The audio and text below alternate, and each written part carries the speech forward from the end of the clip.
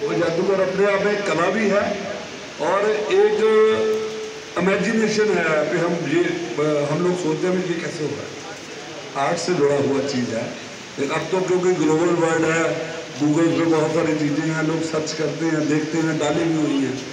लेकिन फिर भी जादूगरों का जो इतिहास है बहुत बड़ा है। ठीक है ना जी? बहुत सारे जादूगरों के नाम बहुत बड़े बड़े हुए थे। तो जादूगरों में मैं आपका बहुत बहुत शुक्रगुजार हूँ। आपसे मिलने का मौका मिला, मेरे साथ मेयर साहब और साथ के deputy mayor, senior deputy mayor, ये बच्चा पार्टी सबसे इम्पोर्टेंट है। ये शो इनके लिए था, सबके लिए। ठीक है? बहुत बहुत धन्यवाद। सबको मिलते हैं। और आइए, आप लोग बैठिए, हम